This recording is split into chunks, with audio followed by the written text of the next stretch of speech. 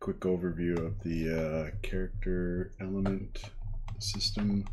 So here I have a um, a new mesh that I want to add to the system. It's a uh, it's a skinned mesh. It actually has a full humanoid rig, um, which is a whole other thing that I'll demonstrate later on. But so I've got it in my prep scene here, and I can just add a element helper um, which is basically allows you to define any number of um, submeshes. So in this case, it has one submesh, but you can actually have a single FBX with multiple submeshes within it and uh, define each, for example, uh, if I look at the bikini, it has top, bottom, and bra and underwear. It's in, the, in a single FBX. So um, so I could actually load a whole outfit at once and then define the uh, the separate um, submeshes. So I can just hit just add an element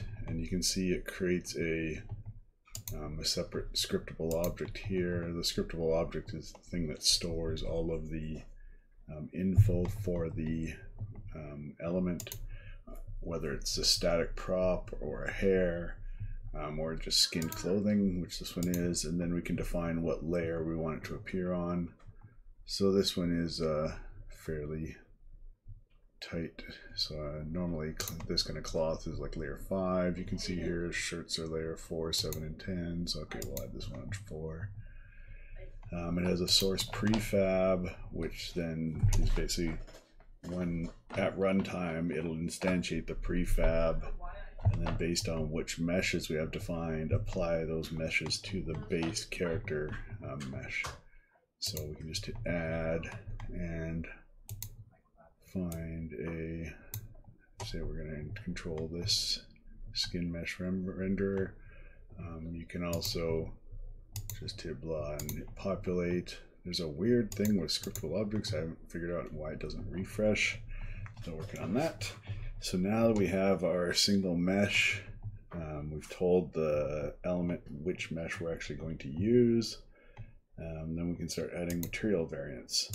So each variant is um, named, which would probably be like a localization string for the UI or something. So, so we can uh, call this cancel.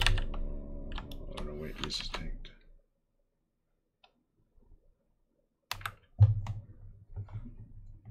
Yeah, so we can just call this A. And then um, for each variant, because a clothing can actually have multiple meshes within it, um, I don't know, sometimes you can have complex items that might be made up of multiple skin meshes.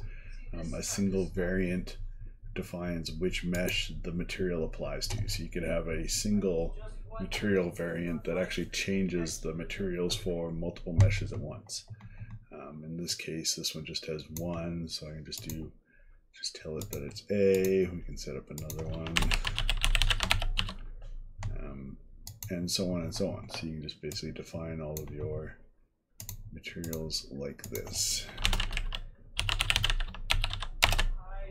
Um, so this is a pretty freeform system. There's nothing specific to any of the assets that I have um, here. So you should be able to, or would be able to use this for pretty much any kind of customization system. So yeah, once we've got that, I can just put the canvas on the mesh here. Um, and we've got um, now this scriptable object is the system that the uh, the game will read and it'll spawn the cancel and then basically give the uh, which options you want to display the variants for.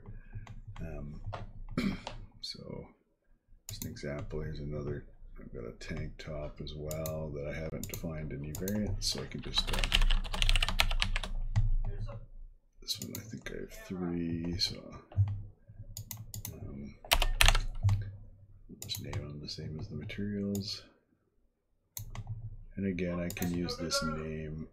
It's going to be more uh, a localization lookup than anything that's actually displayed in the UI. And I'll figure out what I want to call them later on.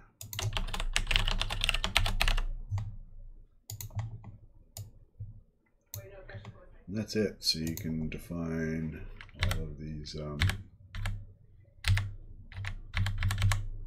different gear or equipment that has multiple color variants very quickly and easily.